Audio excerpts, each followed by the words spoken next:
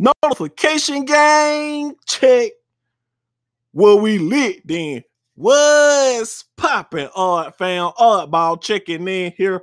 And today we have a lot to discuss. Now let's jump right into it. First off, salute notification gang hitting that like button. For the start, got a real odd fam. Salute way up first. We got that boy Boosie.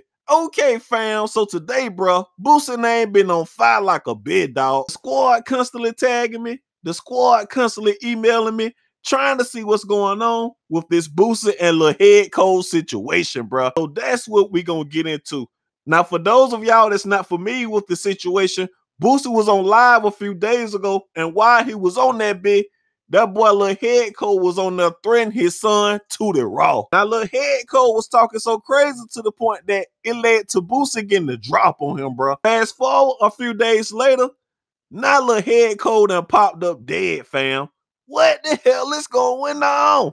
Now immediately the social media investigator started pointing the finger at Boosie. They're doing all of this without any concrete evidence, which Boosie don't need, especially with the previous situations he done had, bro. These folk not waiting on no police investigation. They like, hell no, fuck that. It's Boosie. Things got so bad to the point that Lil HeadCold sister actually responded to the situation and said that he didn't get killed, bro. He said he died, but a bit didn't clap him. I'm glad she actually spoke out and cleared up the situation because these fools go get that boy Boosie. It's a bullshit, bro.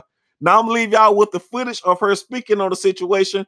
Once y'all get done watching, I need y'all to comment down below. What do y'all think about this entire situation? Situation. If you're new to the channel, make sure you hit that subscribe button. Also, hit the bell beside that bit so you can get a notification anytime I upload. Also, follow me on IG and Twitter. Links are in the description. On my dead bit. By the way, fam, sorry for tagging my name on the video, bro. But these niggas like to steal your footage, don't give credit, bit. I don't know why it's so hard to give a big credit, fam. But that's how these niggas operate on that bit. On my dead bit, though. Oddball. Gone. So I don't know who these people are. I don't know nothing about them. Everybody off uh, foolish Instagram or whatever, mad basically. They on there talking this and you feel me.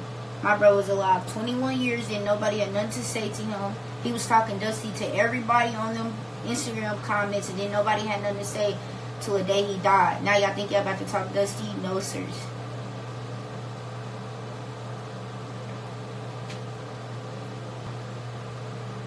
Got over 100 followers in the past 30, 35.